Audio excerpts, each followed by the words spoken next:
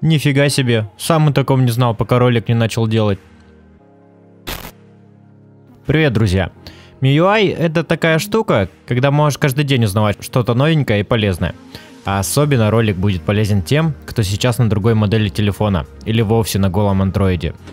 Ну нахер. Ведь там, чтобы сделать хоть половину того, о чем вы узнаете из этого ролика, нужно будет установить 100-500 плюс приложений. Ну поехали. А спонсор этого ролика я сам и мой конкурс на 15 баксов для моих подписчиков. В общем, подробности будут в ролике, что у вас подсказки. Я долго думал, с чего бы начать, чтобы вы сразу не выключили этот ролик словами. Фу, я это все и так знал. Ну короче, в этом ролике вы не увидите запись экрана, скриншот тремя пальцами, а также клонирование приложений, секретные сообщения, фото, заметки, потому что я уже рассказывал об этом в предыдущем ролике, ссылка на который будет в подсказке. Короче, сейчас расскажу еще больше всяких интересностей. Кстати, обязательно подключите ваш Mi аккаунт, иначе половина ролика будет для вас просто бесполезна. Первое, с чего хотелось бы начать, это будут у нас опять скрытые приколюхи, которые я нашел буквально недавно. Ну, надо же снова продать название ролика. Да еще и чтобы не орали некоторые кликбейт, кликбейт. Ну, нате, получите, распишитесь. Итак, первое это скрытые приложения. Вот видите эту папку со скрытыми приложениями на рабочем столе? Лично я нет, а она-то есть. Для этого вам нужно будет сделать следующие шаги. Заходим в безопасность, далее в защиту приложений, введите ваш пароль два раза. Далее нажимаем привязать Mi аккаунт. Далее вам покажет список тех приложений, которые не будут открываться без вашего ключа. Заходим в настройки и внизу выбираем пункт скрытия приложений. И у вас на рабочем столе появится папка с теми приложениями, которые вы сочли нужным скрыть. И вы спросите меня, ну и как же попасть в скрытую папку? Да, очень легко. Для этого нужно будет на вашем рабочем столе использовать следующий жест. Не сужение, потому что оно ведет в настройки рабочего стола, а наоборот расширение. Далее вводим ваш пароль и вот она голубушка. А вот и приложения, те, что скрыты от других людей. Ну и далее добавлять или убирать эти приложения уже будет очень легко. Для этого будете просто заходить в управление приложениями в этой папке. Еще одна скрытая фишка. Сейчас покажу еще одну скрытую папку в проводнике. Прям как на вашем компьютере. Для этого в проводнике просто потяните экран вниз. Вот тут. И вуаля, перед вами откроется скрытый альбом. Мало ли какую информацию нужно утаить от других пользователей. Случаи, как говорится, разные бывают. Мне иногда кажется, что MIUI сделан специально для тех, кто ходит налево. Кто согласен, поддержите лайком. Короче, тут все, что хочешь, можно утаить от вашей второй половинки. Только есть шанс, что она или он посмотрит тоже этот мой или предыдущий ролик, и вам придет писец. Все знают про красивое меню недавних приложений в MIUI 10, но не все догадывались, что если не нажать, а зажать крестик, то вы попадете в меню, где показаны все ваши установленные приложения. Ну, вдруг кому нужен будет быстрый доступ, может кому сгодится. Не могу не рассказать вам о том, как быстро переместиться между приложениями. Если вы используете жесты, переключаться удобно будет следующим образом. Просто пролистывайте до другого края экрана, и вы вернетесь к предыдущему приложению. А если вы старовер и используете кнопки навигации, то просто двойное нажатие на кнопку меню, и вы опять же вернетесь на предыдущее, ну в смысле на то приложение, которое было открыто до этого. Думаю, очень удобно, быстро привыкнешь к этому. Хочется сказать отдельное спасибо Xiaomi за следующие функции, связанные с отправкой сообщений, а именно включение в настройках функции Mi сообщений. Они позволяют не тратить баланс вашего счета, а позволяют обмениваться сообщениями через интернет.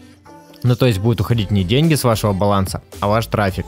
А что так можно было что ли? А благодаря этому вы сможете перевести ваше сообщение на новый уровень. Для этого нажмите на плюсик, когда вводите смс, и ваше сообщение превратится в нечто большее.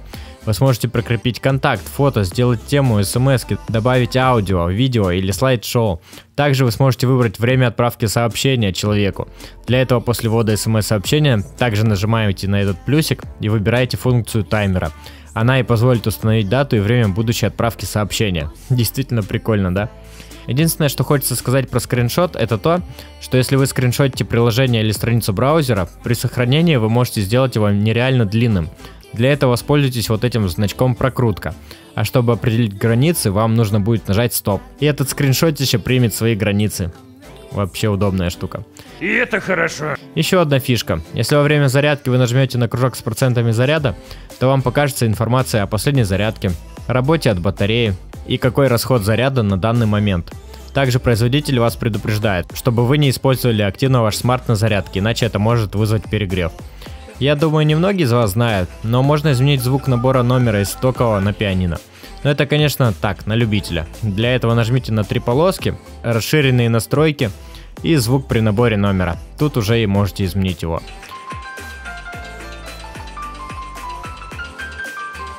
Если вы частенько даете телефон своему ребятенку, что я делать категорически не советую, то обязательно в настройках экрана поставьте «Защитить от изменений». И телефон к вам придет с тем же рабочим столом, с каким вы ему дали. А вот от звонков, царапин и написания бессмысленных сообщений вас уже никто не спасет. Пользуясь случаем, хочу рассказать вам о клавиатуре SwiftKey.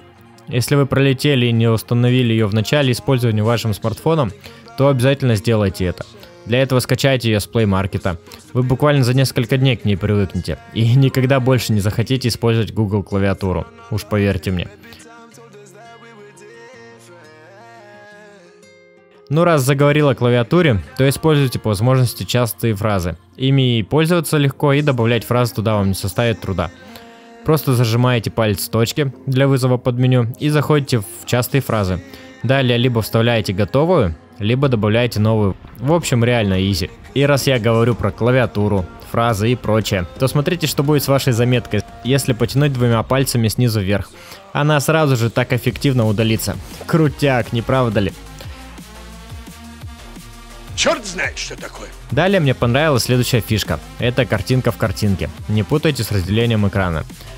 Вот как-то вот так это смотрится. Можно, например, общаться в WhatsApp и смотреть YouTube он будет работать в фоне. Можно двигать приложение вверх и вниз экрана, все зависит от ситуации. Это очень удобно. Также при использовании навигатора можно будет вообще использовать телефон как угодно, а навигатор будет всегда поверх всех окон. Еще можно приблизить и отдалить его по надобности. А включается она в настройках. Просто введите в поиске картинка в картинке и включите ее для нужного вам приложения. Ну вообще, конечно, по стандарту оно и так стоит, только мало кто пользуется этой фишкой. По-моему, это же настолько очевидно и просто. Раз упомянул про WhatsApp, то вот вам лайфхак.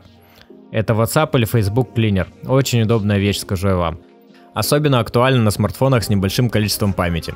Просто заходите в безопасность, листайте вниз. Далее просто нажимайте на очистку WhatsApp или очистку Facebook.